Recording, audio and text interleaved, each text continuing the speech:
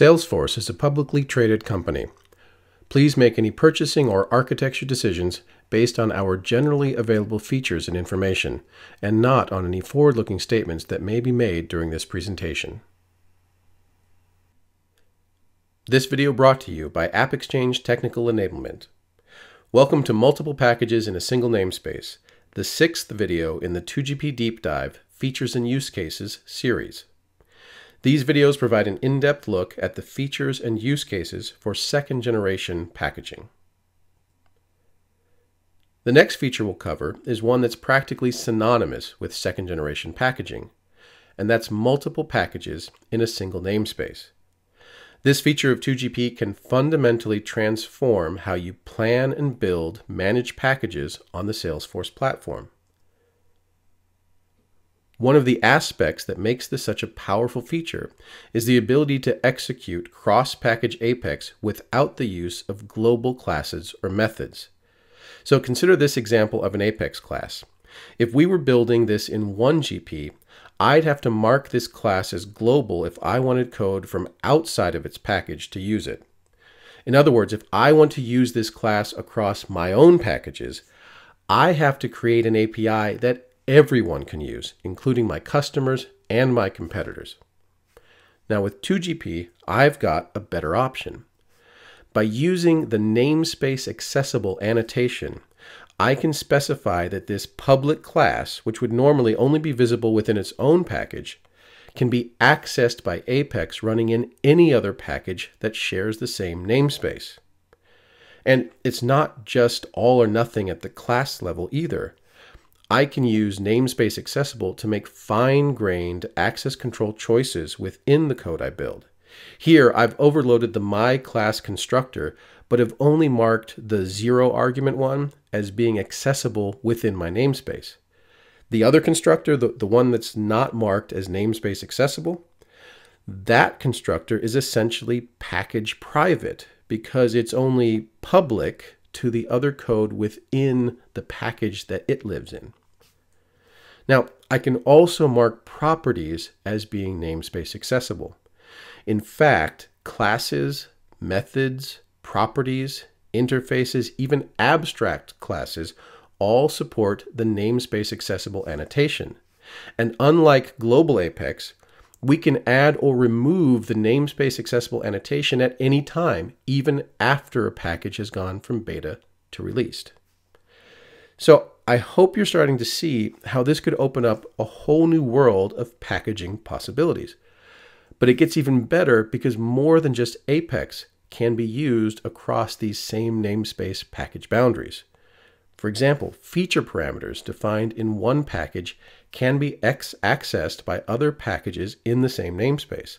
And the same goes for protected custom metadata types and custom metadata records and name credentials and, you know, of course, Apex, right?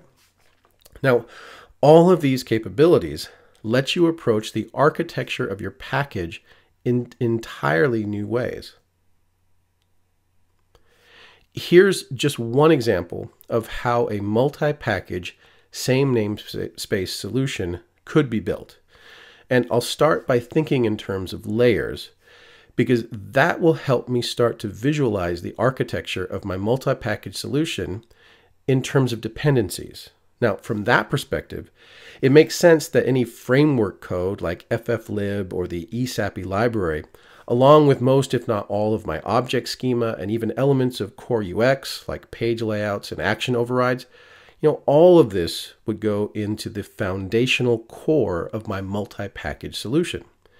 Now, layered on top of that would be my data access logic, a practice that's common in many enterprise software design patterns.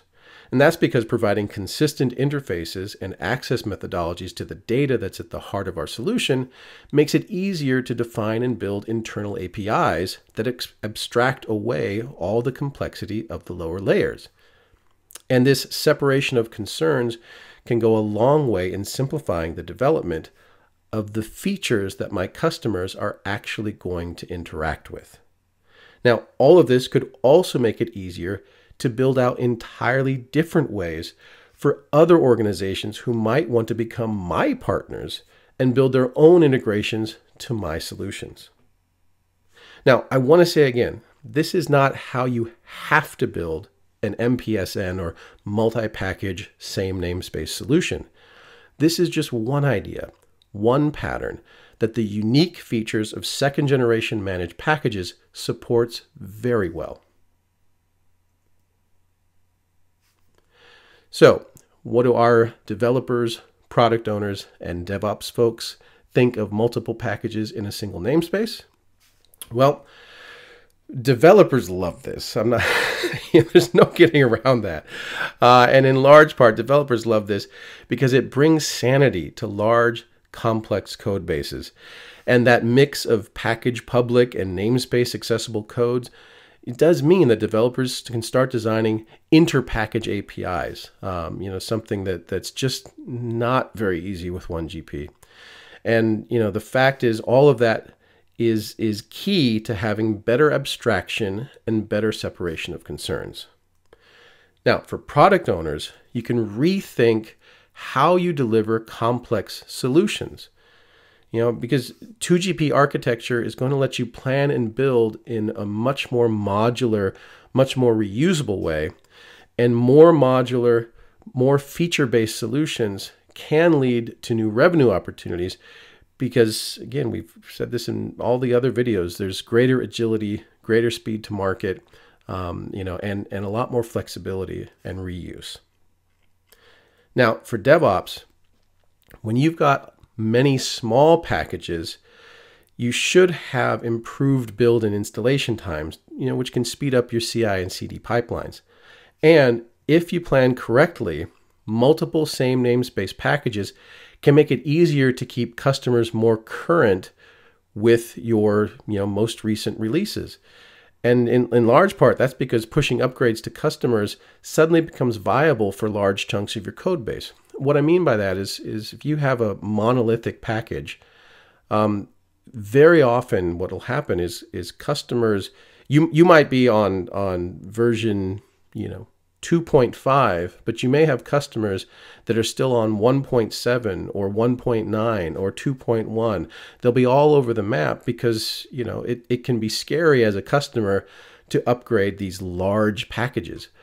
But with smaller, fine-grained packages that possibly there's no interaction with the customer at all, you can keep parts of your code base um, uh, fresh and up to date with customers without a lot of the worry that exists with these large monolithic 1GPs.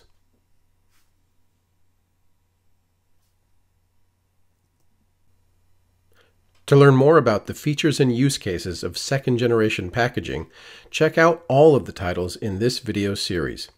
You can also use the 2GP Deep Dive Trail Mix to find additional resources about second generation packaging. Finally, Registered Salesforce partners can join the Managed Packages group in the partner community. It's the best place to ask questions and get up to date information about first and second generation managed packages. Don't forget to smash the like and subscribe buttons so you don't miss out on any of the great content by Salesforce developers.